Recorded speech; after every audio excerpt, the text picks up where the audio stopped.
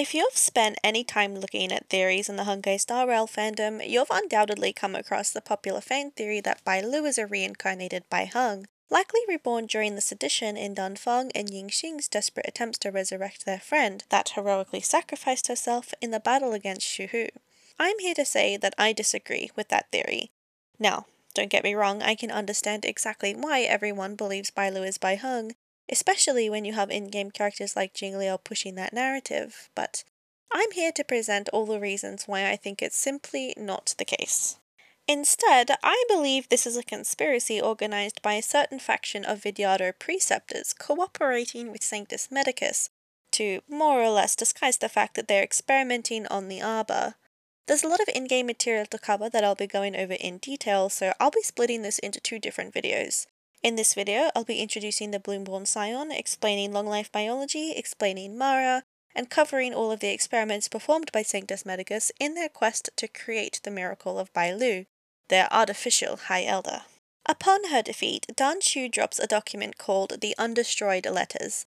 These are letters documenting her correspondence with a Vidyadhara named Gochen, who claims to be Dan Shu's obedient servant and who is suspected to be a preceptor by a judge of the Ten Lords Commission. Unfortunately, it seems most people probably didn't read these documents, but for those that did, it reveals some very interesting information. The truth that Bailu is an experiment known as the Bloomborn Scion, or rather, a Hundred Flowers Scion in Xian. She identifies the subject as Bailu by describing a Vidyadhara girl with political weight, a lot of skill, a rebellious personality, servants to watch her every move, and who was under the supervision of Dan Shu's predecessor, she then tells Gochen that back then we unintentionally created the miracle of Bloomborn Scion, but there's a limit to mere luck. Until I make further progress in my research, such a miracle is unlikely to occur again. Though we only find two of these letters in this document, there is likely more due to this line in Sanctus Medicus Devil's criminal evidence records, which reads, My assistants and I have thoroughly examined all administrative documents of the Alchemy Commission spanning the past 70 years. The records of Danshu's inhumane experiments and her correspondence with suspected Vidyadhara preceptors indicate that this incident was not an impulsive rebellion by individuals masquerading in the name of an ancient cult, as it may seem, but rather a meticulously organized conspiracy. Keep in mind that before the Third Abundance War 30 years ago, Danshu was loyal to Lan the Hunt, so all of her abundance-based experimentation and, by extension, these interactions with Gochen could only have happened within the last 30 years, since she became a disciple of Sanctus Medicus. You can read about her backstory in Danshu's diary and the Longevous Disciples relic set. In the first letter, Gochen told Danshu about how there is some battle, presumably in the Scale Gorge among the Vidyadhara. He said he had no choice but to send that young girl to the Alchemy Commission, he mentioned that she is young and not chosen by selection, but possessed remarkable potential, and that placing her under Danshu's tutelage would facilitate careful observation and documentation of her growth. He told her that the present times are perilous and that the scepter of power had fallen aside, and that, although possessing the talent to change the tide, the opportunity to do so was not present. With his letter, he sends a servant to deliver ten samples for her experimentation. The last bit of the letter confirms the recipient is in fact Dan Shu and not her predecessor because they tell her that the method of communication via letters is inconvenient for her and she may need someone to read them aloud, which is because Dan Shu is blind and cannot read them herself. In a later, presumably undelivered reply to Gochen, she said she has received the samples, but after transplanting and cultivating them, they all turned to powder, it was likely that they were constrained by the waters of the ancient sea, causing them to lose their vitality upon separation from their original body. After all, both the samples and the ancient waters are mystical celestial traces and are elusive to comprehension. These samples should be branches of the arbor, as we have multiple recordings of preceptors ordering for arbor branches to be collected and sent to the Alchemy Commission. Dan Shu talks a bit about her dealings with Phantylia and the Stellaron, referred to as a seed here, then clearly identifies the subject as Bailu by saying, as for the girl, she has learned quite well under the supervision of my predecessor, but she lacks sufficient experience and tends to be overly rebellious. The servant you sent must watch her every move. There is no need to worry, as she is not likely to break free from our control in the foreseeable future. She then tells Gochen not to send any more samples. This document is damning evidence that Bailu was created by the combined efforts of the Vidyadhara preceptors and the disciples of Sanctus Medicus in the Alchemy Commission, and not by Dan Feng as the Alchemy Commission claimed that she was. They even admitted that she was not chosen by selection in the previous letter. In the first letter, Gochen first brings up what seems to be a civil war among the Vidyadhara, which is the reason that he has to hand Bailu over to Dan Shu. He mentions that the scepter of power is fallen aside. This is likely because, in the Preceptor Assembly Chronicle following the execution of Dan Feng, it is said that the Preceptor Council is a stopgap measure for when the High Elder position is vacant or governance is untenable. This means that without a rightful functioning High Elder, the preceptors would have been acting as a council up until the creation of Bailu by some of the preceptors who were working with Sanctus Medicus. Once she existed as a High Elder, the council would have no longer been effective, thus throwing the Vidyadhara into a war with each other, likely torn between those who want to keep the council set up, those who want to instate Bailu as the High Elder, and those that are still loyal to Dan Feng, undoubtedly made all the worse by Dan Heng's exile by Jing Yuan, which was approved by the Ten Lords Commission.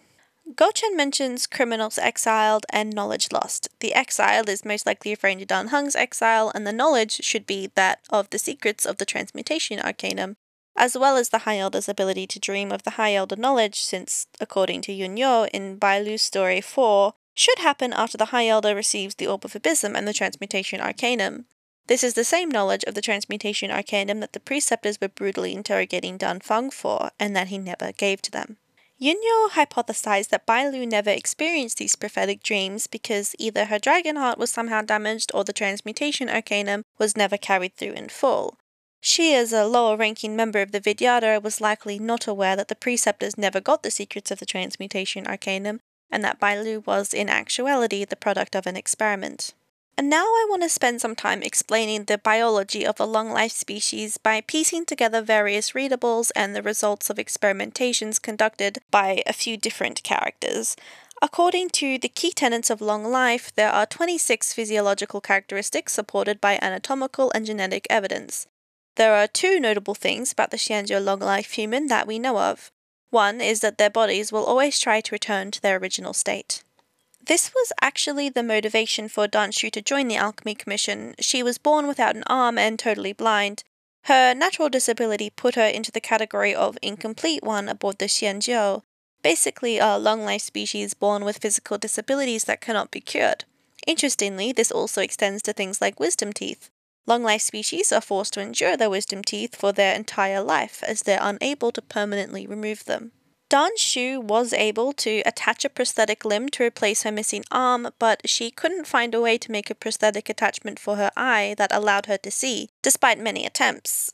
In the end, she wanted to see her best friend Yu Fei so badly that she requested an eye transplant so that she could see Yu Fei just once, understanding that it would be a temporary thing and cause her unimaginable pain, which had caused other people to become Mara struck previously. This eye transplant lasted about 10 days before her body rejected the eyes. She screamed in a puddle of her blood and once again returned to the darkness. It was Yufei's death as collateral to Lan's arrow wiping out abundance denizens in the Third Abundance War that caused Dan Shu to turn against Lan and become a disciple of Sanctus Medicus. Sanctus Medicus is, of course, one of Yaoshi's titles. Dan Shu, in Pharmacological Studies on the Draft of Draconic Surge, actually tells us a bit about how this works. She tells us that longevity is usually an indicator of cancer, which is cells proliferating beyond their designated lifespan and order becoming immortal and eating away at the host's body until both perish. The immortal body, including Foxians, avoids this by maintaining an internal equilibrium where the cells can shift between differentiated cells and stem cells, obeying specific rules but never creating a single error. This is something that is set in stone at birth and the reason that the immortal body will always return to its natural state. At some point, the original standard will be overwritten and the body will start to develop catastrophically, turning a civilized human into a mindless abomination. This is what is referred to as Mara struck. Understand that Dan Shu is the pinnacle of modern science on the Xianzhou Luofu, especially in the research of Mara and immortality, it's a common misunderstanding among the citizens of the Luofu that Mara is caused by an issue with memory, but this simply isn't accurate. Mara causes memory issues and not the other way around. This is supported again by Fu Xuan's explanation that Mara is related to an emotional threshold and is not caused by memories, but that it's easier to regard it as a memory issue. She also tells us that short lives are immune to Mara, obviously because they do not have the blessing of Yaoshi, she also implies Vidyadhara can gain Mara but do not because of their rebirth process. But we have no evidence for or against this idea. Also note that Foxians usually die around the age of 300 years old, making Mara a rare condition for them. This is because, according to Todd, their body stops producing the pluripotent stem cells at around 300 years old, which results in multiple organ failure and a quick death within a few days. It's unclear why this happens to them, but one thing of interest is that removing the liver of a borisin results in the borisin turning into an aggressive cancerous mass within a few hours. This likely describes them becoming Mara-struck. This does not happen if you remove the liver of a Foxian, instead, a Foxian will simply regrow a new liver. One thing to note is that Dan Shu tells us that Foxians of Yaoqing are genetically very similar to the Borisin, and suggests that the difference between a Xianzhou citizen and an abomination of Yaoshi is merely a cultural one. This brings us to the next top secret information about immortals. Scripture of Yellow Noma Young Essence tells us how disciples of Sanctus Medicus believe that the Xianzhou natives' bodies possess circulator vessels in the branching form of the ambrosial arbor, this circuitry system leads towards an organ known as the core S and is critical in the pursuit of true immortality, known as ascension or the second evolution. Danshu did manage to achieve this in her ascended form, becoming a mini boss, but I won't delve too deep into that. Anyway, Todd was also investigating the remains of the Mara-struck and discovered that the plants attached to them are not actually in a biological category, but are a kind of bionic material. This is very interesting because the investigations of ancient patent rubbings from the Luofu reveal that it's likely that the secret spell sealing the arbor is just classified as advanced Vidyadhara technology and not magic.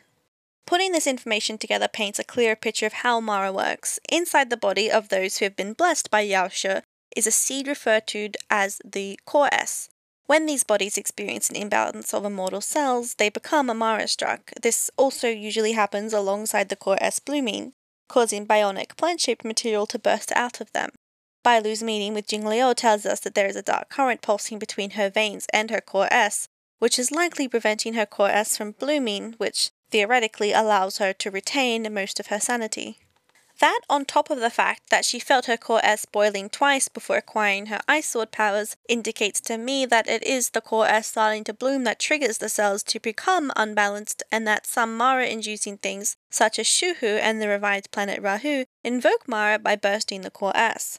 These core S seeds were likely acquired from the immortal fruits of the arbor, with Foxians supposedly gaining theirs from the dew of another tree, the same tree as the Borisin, and the Wingweavers most likely gaining theirs from Muldrassil.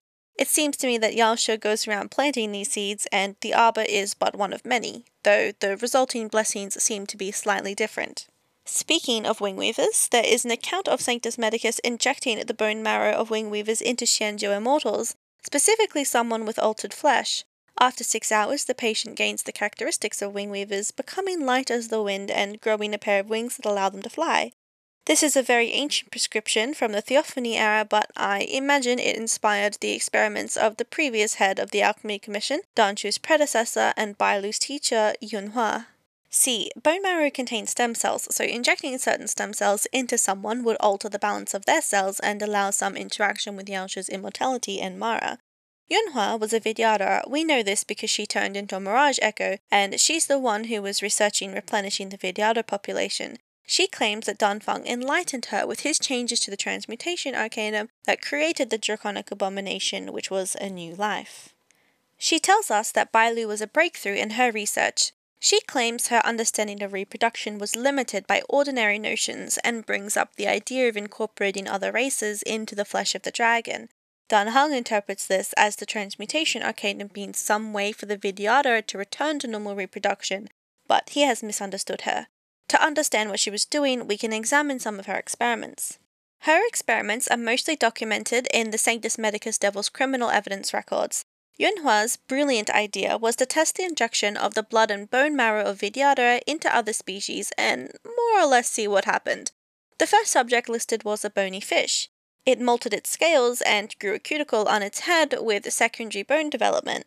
Its mouth region was also enlarged and it grew hair around its dorsal fin and gills.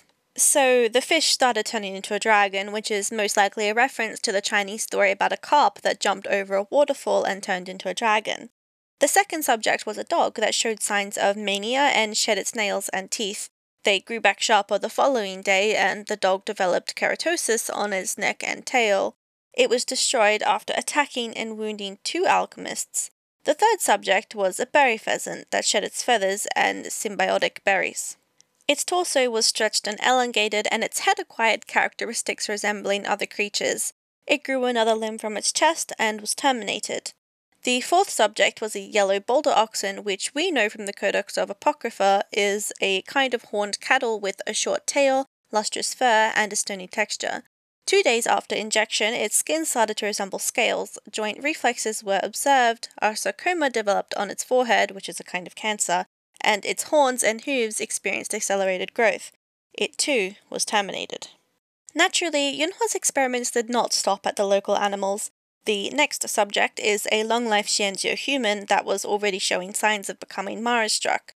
The injection did not stop the Mara, but once fully Mara struck, they did retain remarkable clarity comparable to that of a normal person. It seems that because the subject refused something, they may have eliminated them.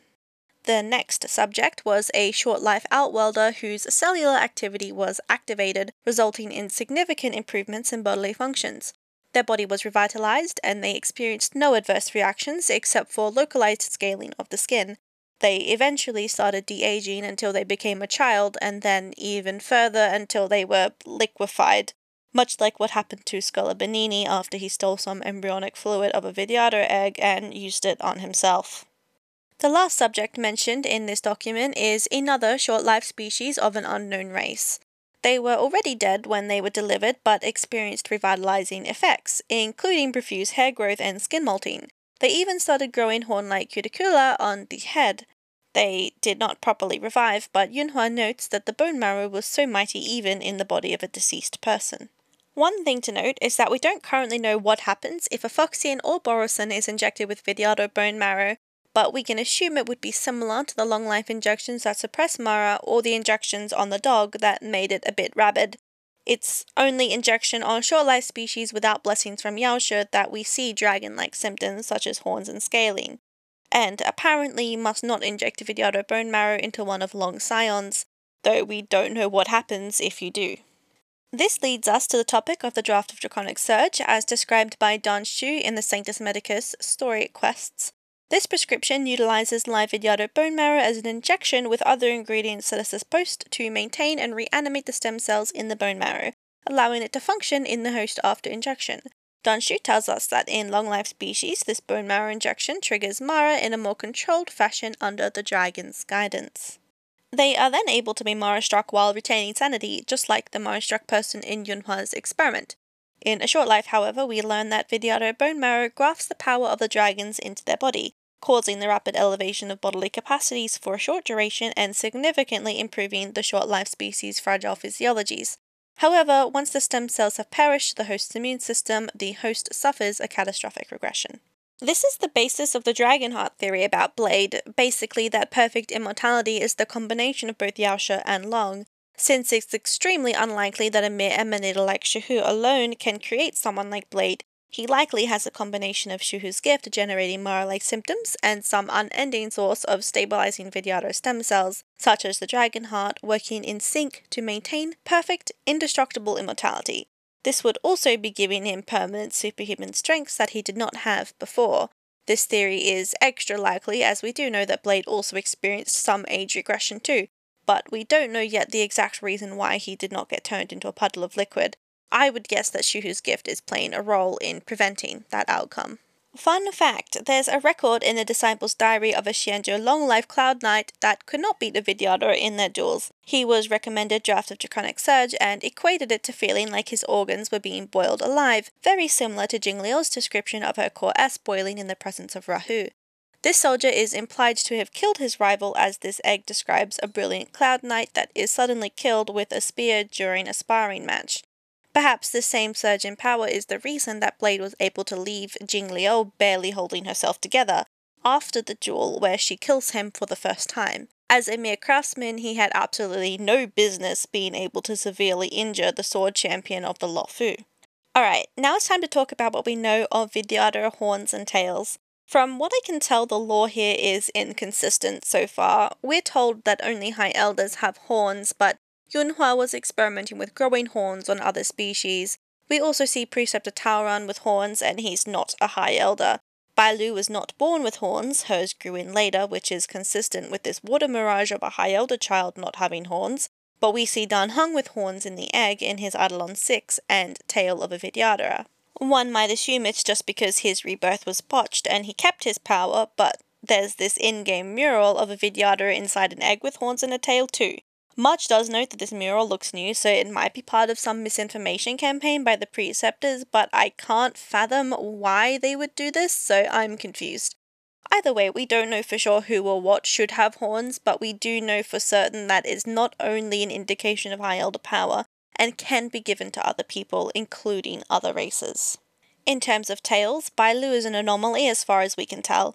She asked Dan Heng why he does not have a tail, but as far as we can tell, Yubia did not have a tail either, and neither did Dan Feng. Neither does Preceptor Taoran or any other Vidyadhara we have seen so far. I think there is a real possibility that her tail is one of those extra growths that some of the specimens were getting as a result of the bone marrow injections. We're told by an NPC from the Alchemy Commission that Bailu was selected by Dan Feng to be his successor, this is simply not possible because we know from his point of view that Dan Feng remained silent after his arrest. He never said anything to anyone when they came to visit him, not even Jing Yuan. So, just with that information, we know that the claim is a lie. And it's fairly obvious why they lie. All activities performed by Sanctus Medicus in their investigations of Yaoshi's gifts are strictly illegal on the Xianzhou. When a mysterious, never before seen, new High Elder lineage suddenly appears aboard the Luofu, the easiest thing for them to do is to blame the late Dan Feng, whose current incarnation, as far as they're aware, remembers absolutely nothing and won't be able to deny their claims.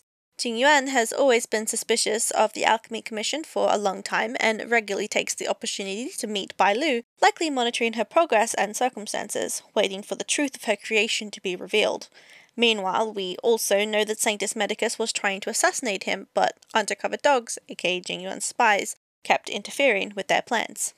Bai Lu believes she has no destructive powers, but we're told in her character story that, according to Yun Yo, her attendant, she has demonstrated her abilities of calling lightning and commanding the waters. Yun Yo instructed a craftsman to create the dragon horn pillory to shackle her tail, and prevent a loss of control over her powers and a repeat of the disaster of the sedition of Imbibitor Lunae.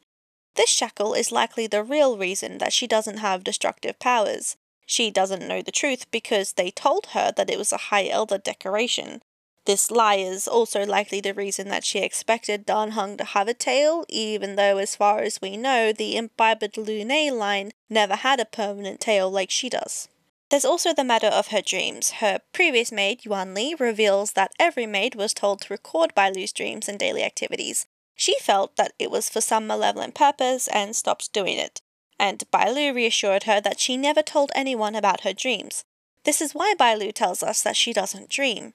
Then on the express, she reveals after her first visit she started having dreams about travel and flying up high. Some have taken this to mean that she is dreaming about Bai Heng, who was a Starskiff pilot, but we know that actually Bai Heng, despite being part of a family of nameless, never visited the Express, so there shouldn't be any correlation there. There's no reason that the Express would trigger memories of Bai Heng that simply being on the Xianzhou wouldn't, considering Bai Heng lived on the Xianzhou. On the topic of Bailu's dreams, I think there's a good chance that, as part of the Bloomborn Scion experiments, she was subject to something called an injection of past life dreams. It needs to be injected within five years of a hatching rebirth and gives an unpredictable number of past life dreams. It says that it's not to be used except when the very survival of the Vidyadhara race is at risk. I think it is likely that she was injected with this and then was monitored for efficacy in the hopes that she would miraculously dream about the secrets of the Transmutation Arcanum.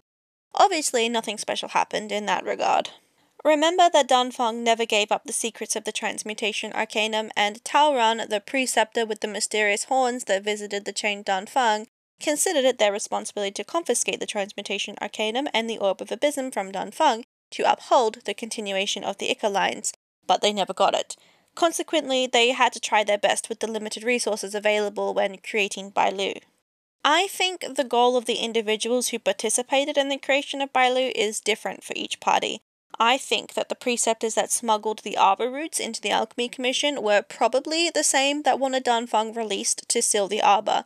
They are the ones who would be desperately seeking a replacement High Elder, and it's likely these Vidyadhara that were trying to assassinate Bailu once the stronger candidate of Danheng returned.